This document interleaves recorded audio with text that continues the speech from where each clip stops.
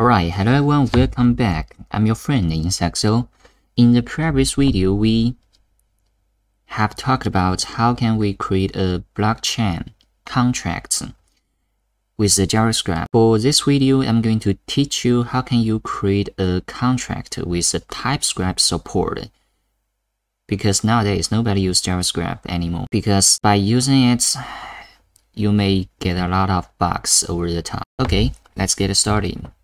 At the first, I do not want to create the template by myself, so I decided to do some research on the internet, and I found one that just fit my needs. It's called TypeScript Solidity Dev Starter Kit.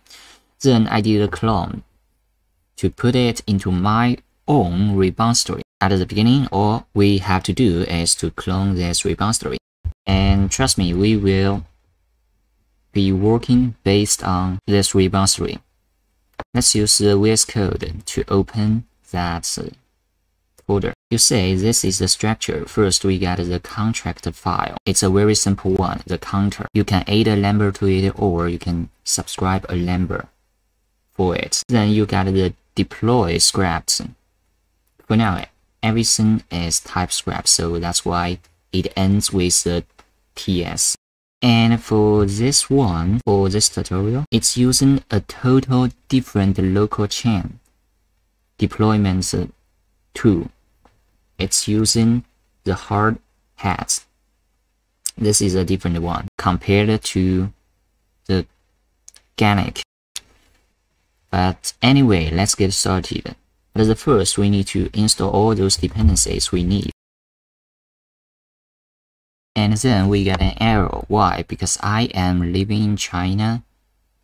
For the China, they got a Great Firewall which blocks almost anything outside of the China. So what I have to do is to use a VPN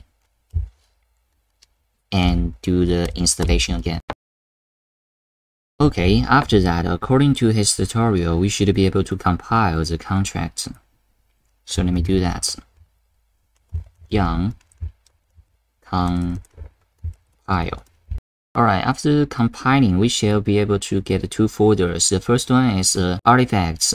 It contains all those JSON files that we need for the web page to interact with the contract. And also, it will generate the TypeScript definition here so that we can use it to let our project have the TypeScript support when we call that contract. Great. Then we need to start a node. Why? Because we want to deploy this contract to a local chain. So we need to at least start the local chain first. We can do it by using this command.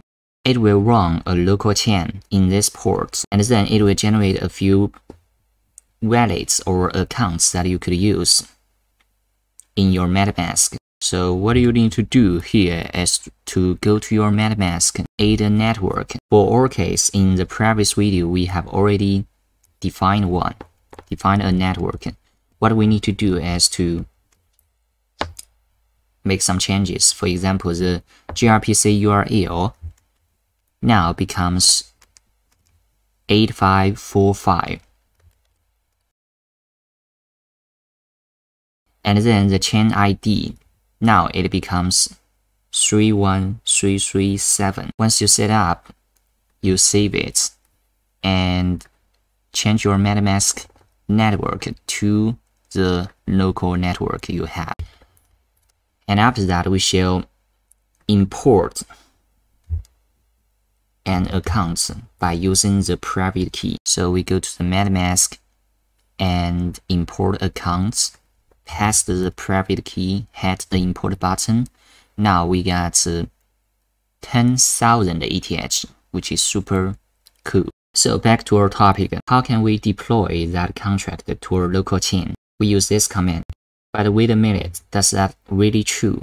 Here you can see for his command, he's using a different network LAN. It's not using the local host, but inside of the hardhat configure.ts, if you look at it, you'd say there has a section called network. Under it, it has a local host. For here, I'm gonna define the URL of that local host. Then we will change the deploy command to localhost.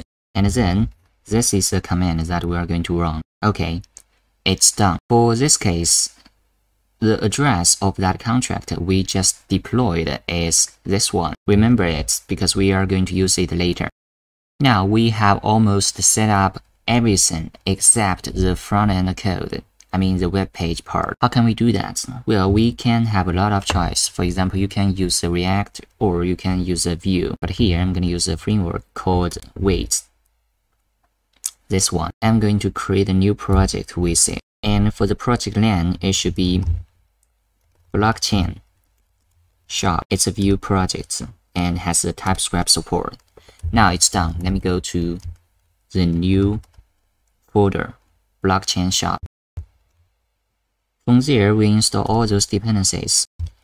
After that, let me serve it. We should be able to get into a web page like this. If we go to the app.vue, we can actually delete all those things that we do not need. It. Alright, now it, it gets nothing. But I'm gonna edit something so that we could have an clear feeling of whether the web page is working or not. From my experience, whenever you made a mistake that causes the Vue crash, then it will not show anything on the web page. So as long as there still has a tag like this one, we could know that we didn't make any huge mistakes on our front-end code.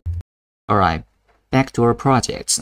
For this project, it not only uses this local chain, it also used this package as an interaction tool for the front-end page. So that's why we're going to get into that repository or the document of it, and you will see something like this. What we need to do is to ins install it.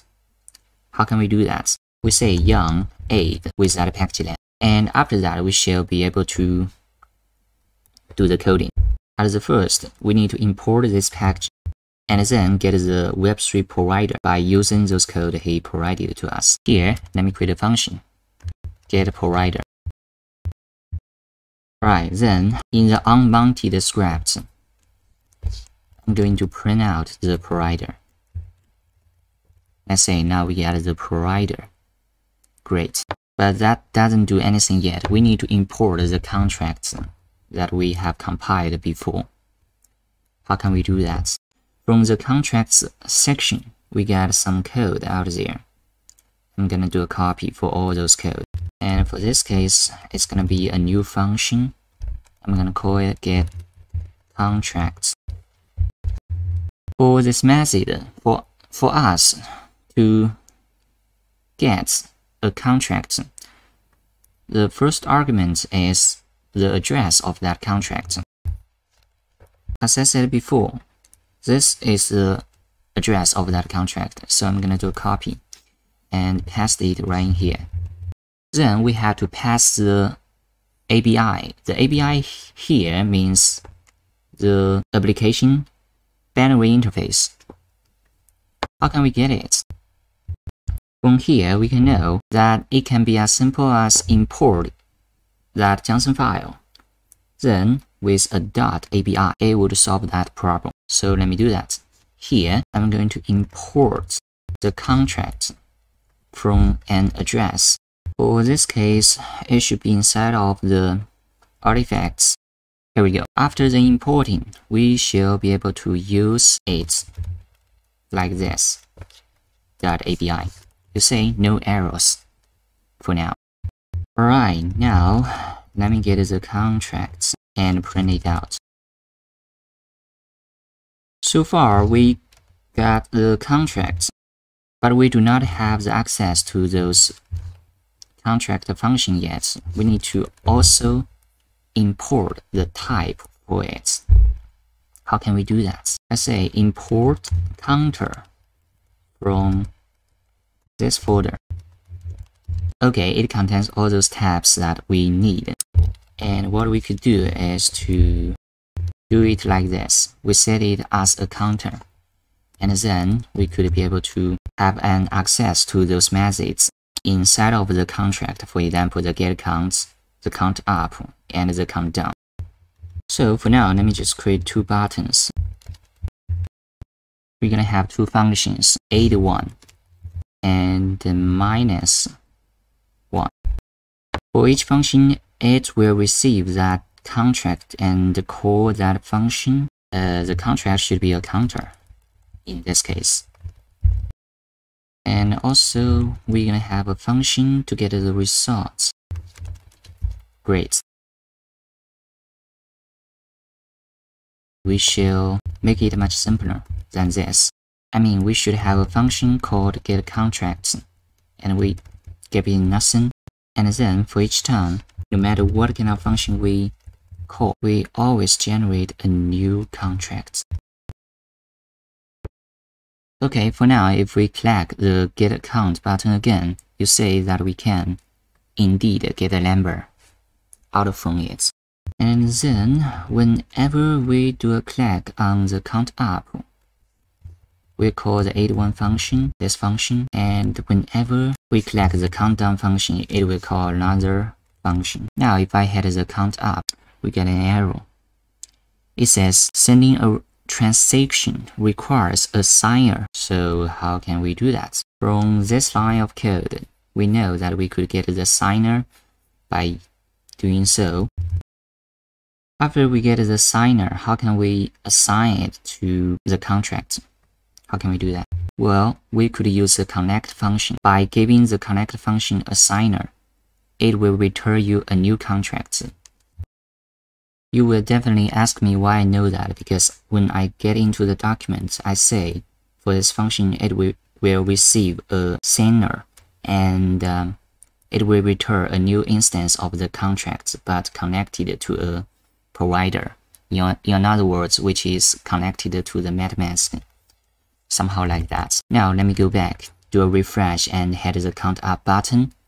You see we got the MetaMask set up. Now if I hit the confirm, we get an error. How this is happening? To be honest, I don't know. Hmm, I'm gonna do a search with Google. In MetaMask, ensure you are on your dev or test account. Then click the Adventure circle. Choose Setting, choose Advanced, and head the Reset Accounts. Let me try it out. For this account, we go to Settings, Advanced, Reset Accounts. So we had that. Okay.